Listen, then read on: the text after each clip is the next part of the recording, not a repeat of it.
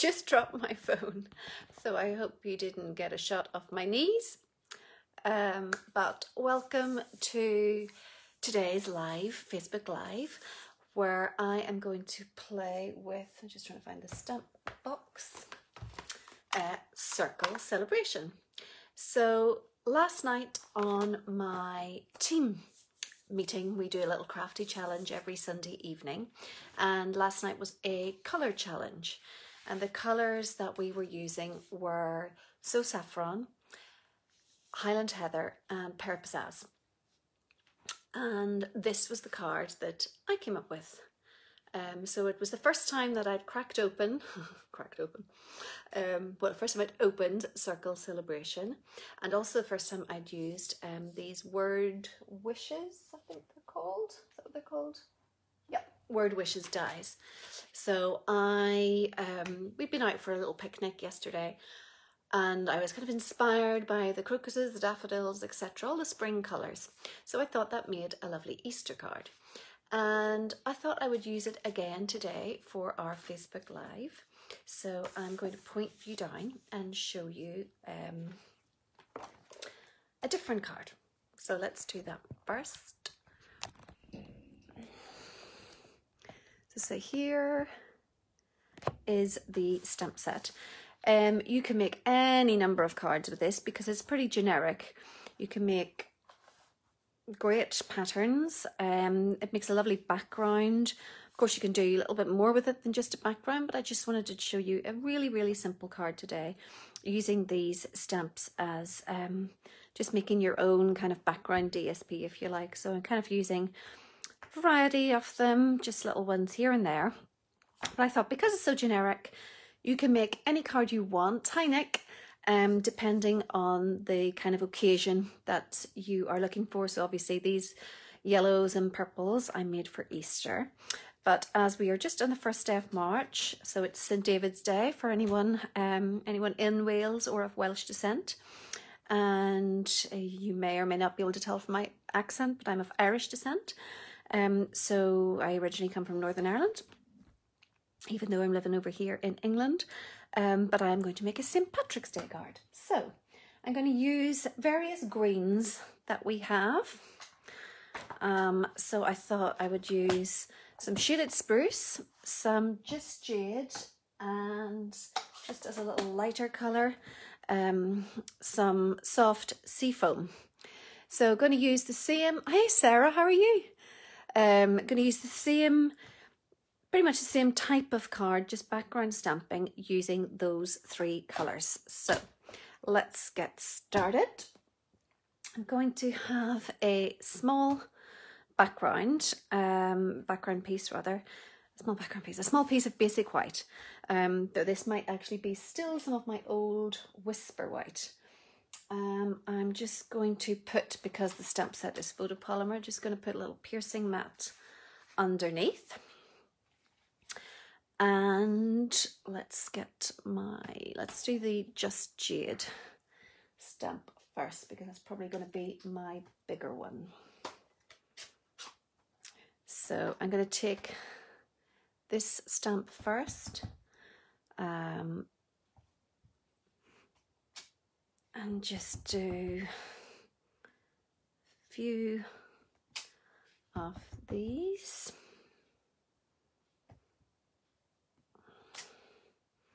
And then I'm going to go back with this teeny tiny stamp and I'll use the darker um, shaded spruce for this one just to get it central.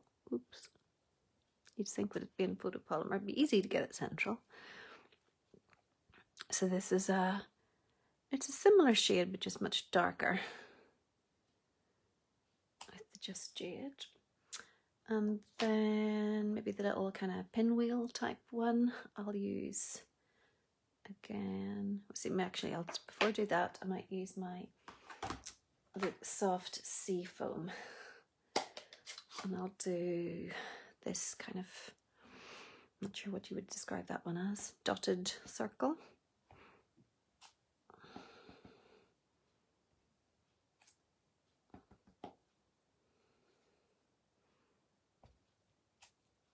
And then I'll back with a little pinwheel one. And I'll do that in the shaded spruce, the darker one as well. I just overlap this circle here. I'm conscious that I've I've only just painted my nails. and I know that they're gonna eventually um I had to wait for them to dry before I could come live. And I know they're gonna end up having red on the paper on the cardstock at some point. Um right, so I might then go back in again. There's another little uh, dotty kind of non-circle stamp. Um and I'll just fill in the gaps.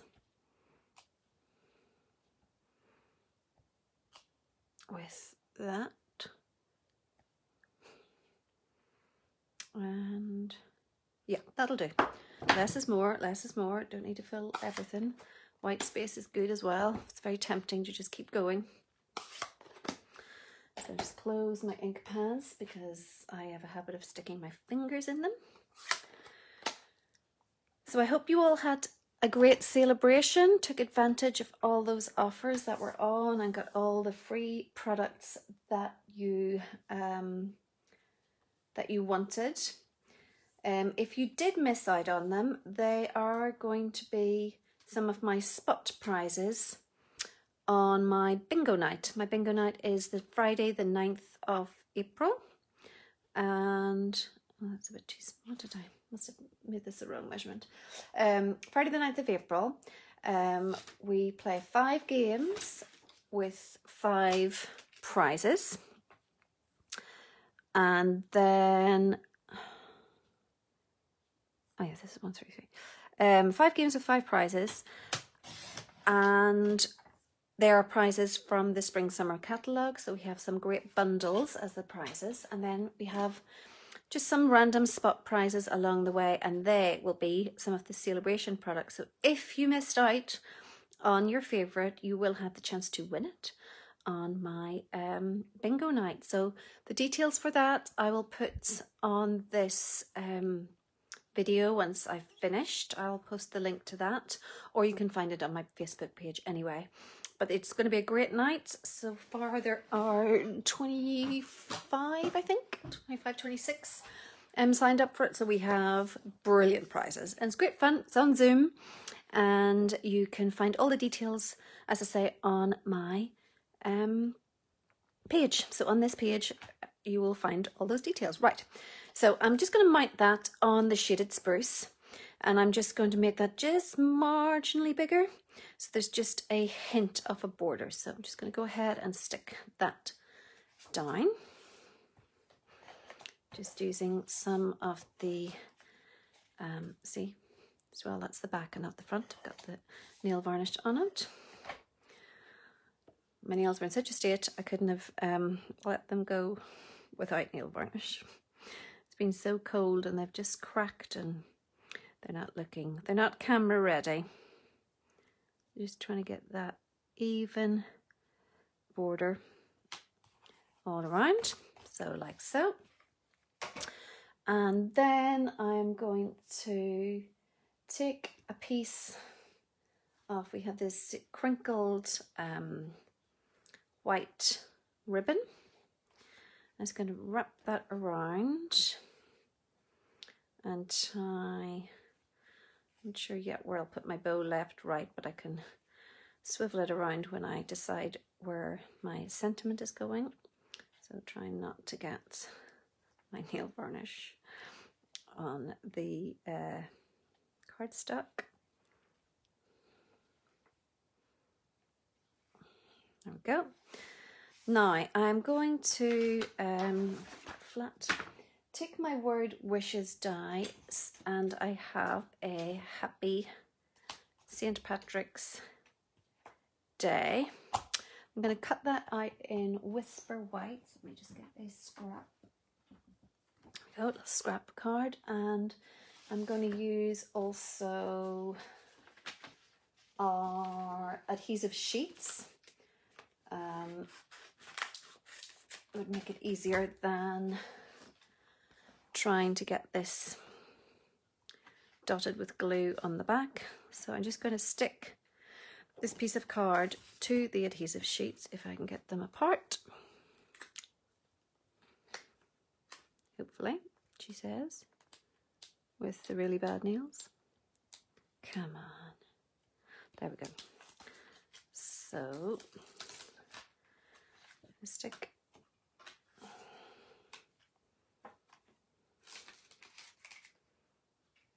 card. Down again try not to get the nail varnish. And just oh I'm off camera sorry. Just trying to uh, cut that off. Then I'm going to do my happy St. Patrick's Day. And I'm going to run that through the Big Shot so just bear with me a minute or the die cutting and emboss cut machine Still can't get out of the habit of calling it a Big Shot, but you know what I mean. Die cutting implement machine.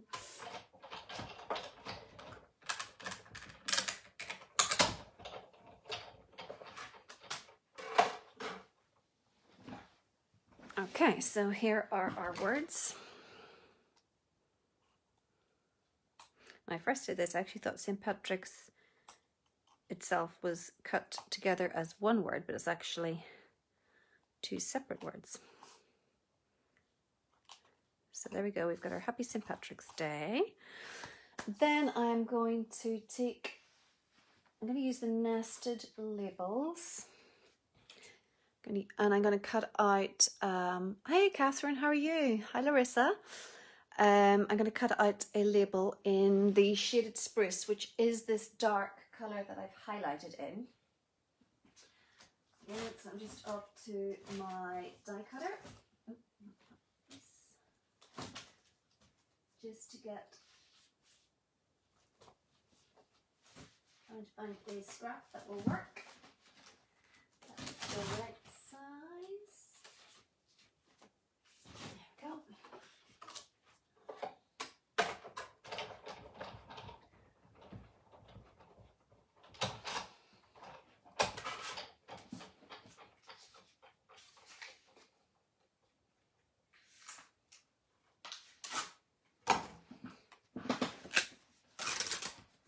Okay, so here is my nested label. I love these with the um, stitching on it. So I'm going to put my words on that, but I'm going to chop off just the edge of that. Um, so have a nice clean edge. because I'm not going to put it in the middle, I'm going to put it off to the side because I don't want to hide this background.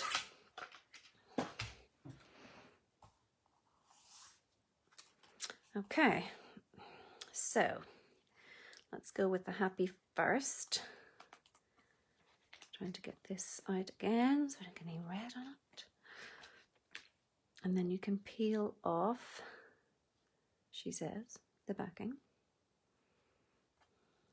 Just make sure I get the little bits out of my letters. Otherwise it won't look too. Okay, so there's that backing coming away here. So it's probably like watching paint dry, trying to watch me get this apart. Right, so there's happy. Ooh, it's a bit fiddly and a bit sticky. Um, but I'm going to have them a little bit off the edge just so I can fit them all in probably have gone for a bigger um, nested label, but then you wouldn't see. I love the background and I don't want to cover too much of it. So we've got this saint. Just trying to get the backing off.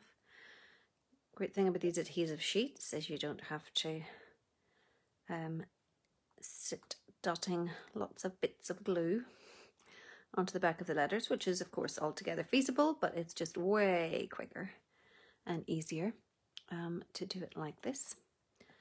So we've got the um, St. Patrick's. Is, oh, and I've lost the apostrophe. It's just flicked off. okay. Shame. I will have not very good grammar on my card then. See if I can, I did have a, a rough attempt. I didn't fully make the card, but I had a rough attempt um, before I came on. So maybe I can just see, hey Kirsty, I can just see if uh, I can prise the apostrophe off my sort of sample. Uh, okay, so happy Saint Patrick's. Oh, not very straight. Let me see if I can get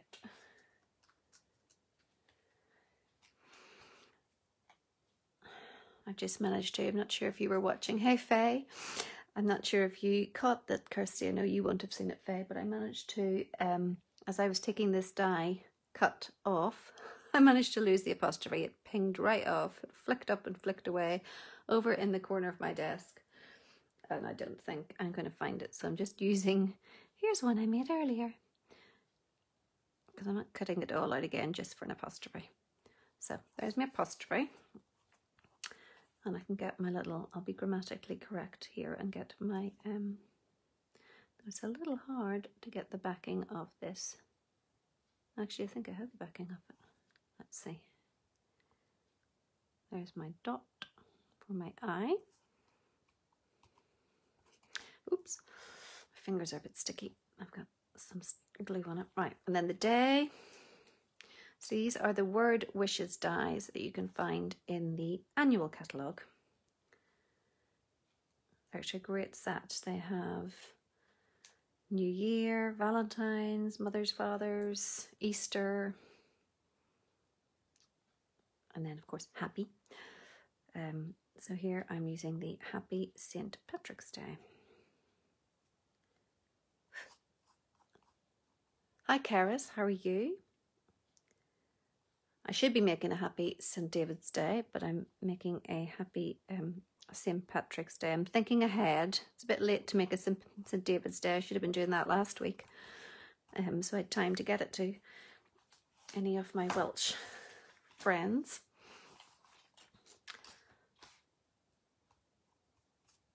So, okay, so now I have my um, my greeting, and now rather than try and tighten up my bow because of the red nail varnish, what I'm going to do is a sneaky thing, which is a handy thing as well. I'm going to snip the back off my ribbon.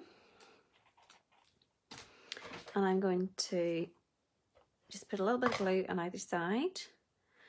I'm going to work out, I'll put this on first. In fact, I should have done that first. I'm going to get some dimensionals and I'm going to raise, of course, raise my um, sentiment piece on the back and then I will know exactly where, sorry, not on the back, on the front, and then I know exactly where I want my bow to lie. I don't have that. Oh. Okay, I want it roughly, I think, about there. Turn it the right way round. Yeah, about there. So get that in, I can adjust it in a minute. Okay, so about there. And then I can pull this tight on the other side and just so that my bow is a little tighter, but of course I have the bow upside down now, which wasn't in the plan. That's stuck behind here. Okay, note to self, never paint your nails just before you're going to do a spot of crafting. So then I'm going to just put this straight down onto my card base. And the card base I'm using is just Jade, which was the um, lighter colour here.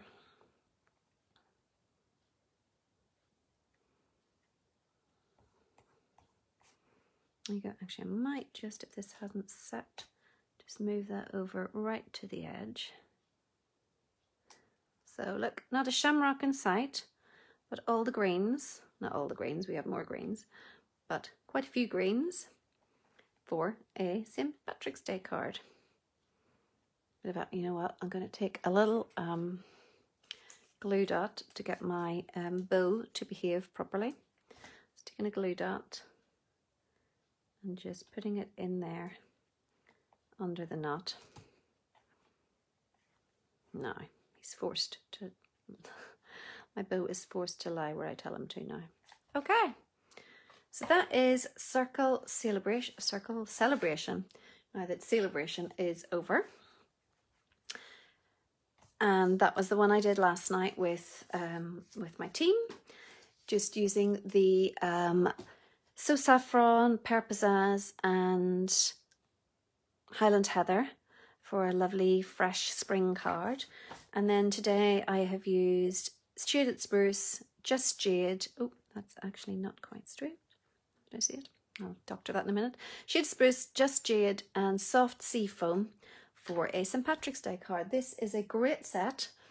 Um, it's perfect for any occasion really because it is so generic and it's it's not male, it's not female, it just works for anything. So I hope you enjoyed this morning's little circle celebration, celebration, gosh, celebration on the brain. It's over, it's over, not till July. Um, so I hope you enjoyed today's project. Um, it's a great set to make fun backgrounds and you can make baby cards, you can make anything. Just change up the colours to suit. Oh, thanks, Carolyn. Thank you and I will see you again next Friday. Don't forget the links for the bingo um, evening will be on this post and you're very welcome to join us if you're in the UK. All right, take care and have a great, um, great rest of the week, everyone. Bye now.